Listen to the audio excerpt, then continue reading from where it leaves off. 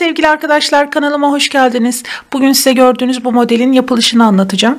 Özellikle bebek örgülerinde e, çok güzel olur. Battaniyelerde, hırkalarda, yeleklerde, atkı berelerde kullanabilirsiniz. Hatta kırlentlerinizde kullanabilirsiniz. Oldukça kullanışlı güzel bir model. Modelimizi alttan zincir çekerek başlıyoruz ve zincirin üzerine kuruyoruz modelimizi. Bir kısmında böyle trabzan grupları var. Bir kısmında da çapraz şekilde duran bu kutucuk var. Bunların tekrarlarından oluşuyor. İp olarak isterseniz pamuklu ipler kullanabilirsiniz. isterseniz bebe yünleri kullanabilirsiniz. Hatta yünlü ipler de kullanabilirsiniz. Ben şimdi size Alize Cotton Gold ile anlatacağım. Evet ilmek alarak başlıyorum. Şöyle. Ve zincirler çekeceğim. Çok sıkı olmasın zincirleriniz. Zincirlerinizin sayısı onun katı kadar olmalı. İstediğiniz uzunlukta çekeceksiniz. Ben de şimdi onun katı olacak şekilde e, numune bir parça zincir çekip geliyorum. Evet arkadaşlar ben zincirlerimi çektim. Şimdi ilk sırada sık iğneler yapacağız. E, modelimizin alt kısmının daha düzgün olması için. Üzerine ip almıyorum. En son yaptığım zinciri atlayıp ondan bir öncekine batırıyorum. Ve bir sık iğne yaptım. Sonra onun yanındakine ve onun yanındakine şeklinde bütün zincirlerin üstüne sık iğne yapıp sıranın sonunda buluşalım. Evet arkadaşlar ben bütün zincirlerin üzerine bir sık iğne yapıp sıranın sonuna geldim. Şimdi modelimizi kuracağım. Bir tane zincir çekip dönüyorum ve bir trabzan yapacağım. Trabzanı yapmadan önce şöyle ipimi biraz uzattım. İp alıyorum üzerine ve hemen ilk deliğe batırıp bir trabzan yaptım. Bu bir zinciri daha rahat dönebilmek için yaptım. Ee, şimdilik bir tane trabzanım var. Ve devam ediyorum. Yanındaki sık iğnenin üstüne de bir trabzan.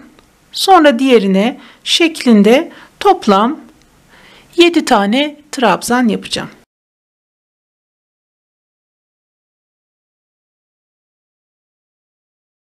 Evet 7 tane trabzan yaptım.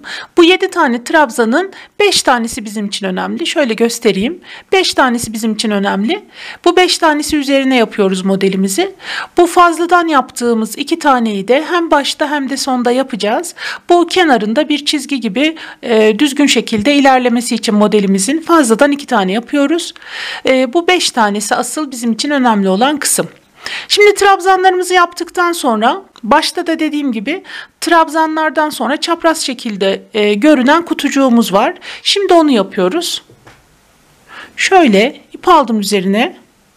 Bu alttan bir iki tane atlıyorum.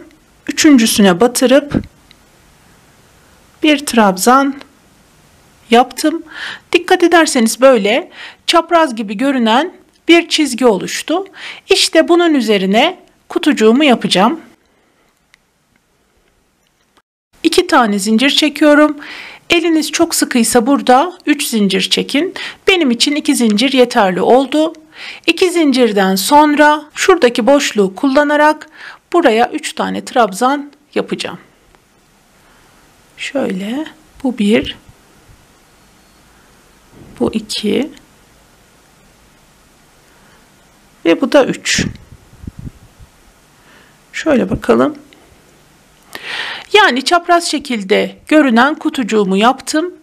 Trabzanlardan sonra çapraz kutucuğumu da yaptım. Bundan sonra tekrar trabzanlar var. Sonra tekrar çapraz kutucuk var. Örüntümüz bu şekilde. İp alıyorum üzerine zincir falan çekmeden. Bu alttan bir, iki tane atlıyorum yine ve üçüncüsüne batırıp bir trabzan yapıyorum. Yani bu çapraz olan kutucuğu diğer trabzan grubuna bağlamış oldum. Ve devam ediyorum yanına. Tekrar trabzanlar yapıyorum. Toplam 5 tane trabzan olacak. 4 bu da 5. 5 tane trabzan yaptım. Bu aralarda hep beşer tane trabzan olacak. Sadece başlangıçta ve sonda fazladan iki tane trabzanımızın e, olması gerektiği için buralarda sadece yedi tane var. E, aralarda hep beşer tane trabzanımız olacak. Beş trabzandan sonra tekrar bu kutucuğu koyuyoruz. İp aldım üzerine. Alttan bir iki tane atlıyorum. Üçüncüsüne batırıp trabzan yaptım. Şu şekilde gördüğünüz gibi çapraz şekilde görülüyor. Şimdi bunun üstüne kutucuğumu yapayım. İki zincir çektim. Ve bu deliğe şu şekilde 3 tane trabzan yapıyorum.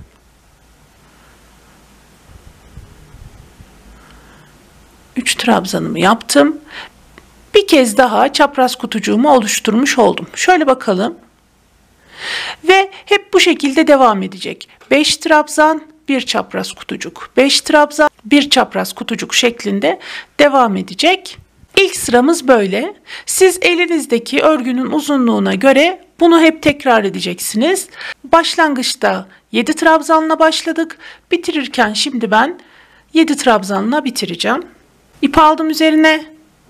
Bu alttan bir iki tane atlıyorum. Üçüncüsüne batırdım. Ve bir trabzan yaptım.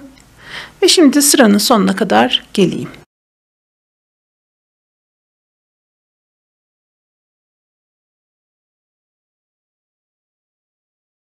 Evet böylelikle ilk sıramız bitmiş oldu. Şimdi ikinci sıraya başlayalım. Başlarken yine bir zincir çekip dönüyorum. Yine ipimi biraz uzatıyorum. Ve hemen yine ilk deliğe ilk trabzanımı yapıyorum.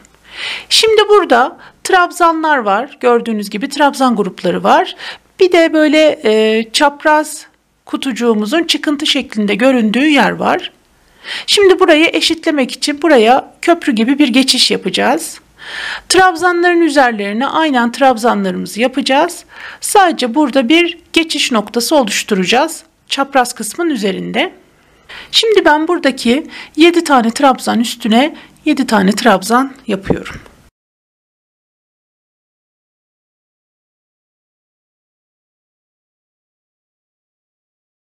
Evet ben 7 tane trabzan üstüne 7 tane trabzan yaptım.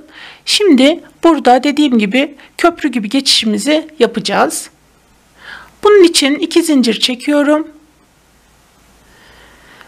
Ve bu kutucuğumun üzerine tam köşe noktasına batırıp bir sık iğne yapacağım. Yani burası neresi? İki zincir çekip 3 tane trabzan yapmıştık hatırlayın. İki zincirden sonra yaptığımız ilk trabzanın üzerine zaten en köşedeki uç noktası burası. Hemen bunun üzerine batırdım. Ve bir sık iğne yaptım şu şekilde. Köprümüzün bir ayağını oluşturduk. Bir de arada sık iğne ile bağladık tam orta noktasına. Tekrar iki zincir çekiyorum. Ve şimdi yine trabzanların olduğu kısma geldim. Trabzanların üstünde trabzanlar var. İki zincir çektikten sonra ip alıyorum ve hemen trabzanın ilkini yapıyorum şu şekilde. Şöyle göstereyim. Yani böylelikle bu çapraz şekilde görülen kutucuğumu bağlamış ve sabitlemiş oldum. Bu şekilde sıranın sonuna kadar gelelim. Evet arkadaşlar ben sıranın sonuna kadar geldim. E, trabzanların üzerlerine trabzanlar e, bu çapraz kısımların üzerine de çizgi gibi bir köprü e, yaparak burayı tamamen eşitlemiş olduk. Ve şimdi ilk aşamayı bitirmiş olduk. İkinci aşamada trabzanların üzerinde çaprazlar, çaprazların üzerinde de trabzanlar olacak. Yani bunlar yer değiştirmiş olacak. Şimdi oraya başlayalım. Bir zincir çekip dönüyorum. Yine ipimi uzatıyorum. Ve hemen ilk deliğe trabzanımı yaptım. Altta da dediğim gibi fazladan iki tane trabzanım vardı. Bu başlangıçta ve sonda devam ediyordu. Bu iki tane fazla trabzanın ilkini yapmış oldum. İkincisini de yapıyorum. Bu hep böyle devam edecek. İki tane trabzan. Şimdi bunu yaptıktan sonra şöyle bakalım. Önümde 5 tane trabzan var. İşte bu 5 tane trabzanın üzerine yeni bir çapraz kutucuk yapacağım. İp alıyorum üzerine. Buradan iki tane atlıyorum üçüncüsüne batırıp kutucuğumun çapraz temelini oluşturmuş oldum ve bunun üzerine iki zincir çekiyorum ve hemen burada kutucuğumu oluşturuyorum. Yani 3 tane trabzan yapıyorum. Şöyle bir göstereyim. Şu şekilde iki tane trabzanla başladık. Bu dediğim gibi başta ve sonda hep olacak. iki tane trabzan. İki trabzandan sonra buradaki kalan beş tane trabzanımın üzerine ilk çapraz kutucuğumu yapmış oldum. Şöyle bakalım. Çapraz kutucuğumu yapmış oldum. Ve şimdi bu çapraz kutucuğu bu tarafa bağlayacağım. Bu çaprazdan sonra 5 tane trabzanımın olması lazım. Şimdi buraya 5 tane trabzan yapacağım. İp alıyorum üzerine. Ve atlıyorum nereye? Şurada iki tane delik vardı. Köprü geçişi gibi olan iki tane deliğimiz vardı. Şöyle çapraz kutucuğun üstünde iki zincirle oluşturduğumuz. Onlardan hemen ilkine batırıyorum. Ve iki tane trabzan yapıyorum. Sonra bu aradaki sık iğnenin üzerine bir tane trabzan sonra şu diğer deliğe de iki tane trabzan yapıyorum. Şöyle bakalım. Yani bu alttaki çapraz olan kısmın üzerinde 5 tane trabzan elde etmiş olduk. Zaten amacımız bir çapraz, bir 5 trabzan. Sonra çapraz, sonra tekrar 5 trabzan elde etmek. Burada da 5 tane trabzan elde etmiş oldum. Bu 5 tane trabzanın 2 tanesi bu tarafta, 2 tanesi bu tarafta oluşan deliklerde, bir tanesi de aradaki sık iğnenin üzerinde. Bundan sonra tekrardan çapraz kutucuğumu koyacağım. Bu önümdeki trabzan grubunun üzerine tekrar çapraz kutucuk yapacağım. Nereye yapıyorum? İki tanesini atlıyorum. Üçüncü trabzanın üzerine yapıyorum. Şu şekilde tam ortasına yani iki delik atlıyorum. Üçüncü trabzana batırıyorum. Ve çapraz kutucuğumu yapıyorum. Şu şekilde çapraz kutucuğumu yaptım ve bunu tekrardan bu tarafa bağlayarak burada trabzanlarımı oluşturacağım.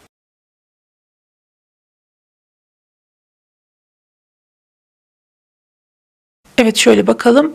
Çapraz kutucuktan sonra tekrar 5 tane trabzan elde etmiş oldum. Böylelikle şöyle bakalım. Trabzan gruplarının üstüne çapraz denk geldi. Çaprazın üstüne de trabzan grubum denk gelmiş oldu. Bu şekilde sıranın sonuna kadar geliyoruz. Şimdi sıranın sonunda ne yapacağız? Sıranın sonunda da böyle trabzan grubum var yine. Sadece iki tane fazla trabzanım var bu kenar için. Buradaki beş tane trabzanın üzerine de tekrar çapraz kutucuğumu yapıyorum. Nasıl yapacağım? İp alıyorum.